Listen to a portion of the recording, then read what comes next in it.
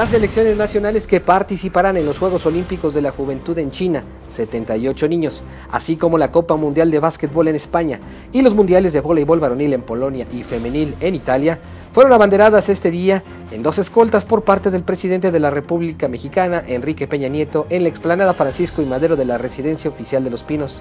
De manera muy particular a este gran grupo de deportistas de distintas disciplinas que sin duda son triunfadores porque serán ustedes quienes representen a nuestro país en, varias, en estas justas deportivas, en varias disciplinas, poniendo muy en alto el nombre de México y sobre todo con la gran satisfacción y valor que tiene representar a nuestro país y saber que ustedes son triunfadores. Además del primer mandatario estuvieron presentes Emilio Choifet, secretario de Educación Pública, José Antonio Meade, secretario de Relaciones Exteriores, así como el presidente del Comité Olímpico Mexicano, licenciado Carlos Padilla Becerra, el director general de la Comisión Nacional de Cultura Física y Deporte, Jesús Mena Campos, y Jimena Saldaña de Aja, secretaria general de ODEPA. Creo que ahorita es como una familia, estamos unidos y, con eso ayuda bastante.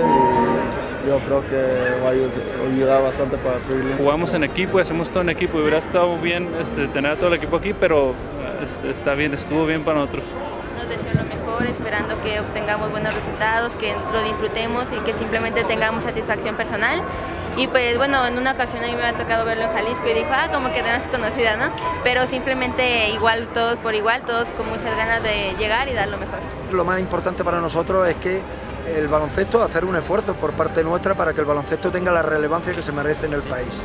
Los Juegos Olímpicos de la Juventud se van a realizar en Nanjing, China, del 16 al 28 de agosto, mientras que la Copa Mundial de Básquetbol se desarrollará del 30 de agosto al 14 de septiembre, donde el equipo nacional le tocará jugar en Gran Canaria. Asimismo, el Campeonato Mundial de Voleibol será en Polonia del 30 de agosto al 21 de septiembre y para finalizar la rama femenil tendrá acción del 23 de septiembre al 12 de octubre.